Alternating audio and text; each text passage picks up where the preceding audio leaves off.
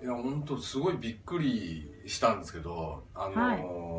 昨日の夜からずっとえっ、ともうぎっくり腰的なもう痛みだったんですよ、ええもう歩けない、歩いても痛い、えちゃんと座ってご飯も食べれない状態でー、はい。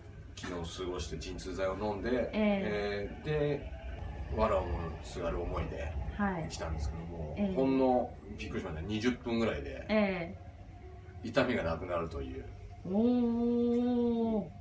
そんなにもうゴリゴリゴリゴリやられるわけではなくはい。あの本当に体をなんていうんですかねゆるくぐるぐる、ま、回す感じの簡単リラッさクスした感じで。でやっていただいたのに関しては本当にびっくりしましたね、もうそれで体が全然楽になったうので、ん来た感じと歩き方も違いますもんね。ありがとうございます。本当に、えいやいいですよ、うん。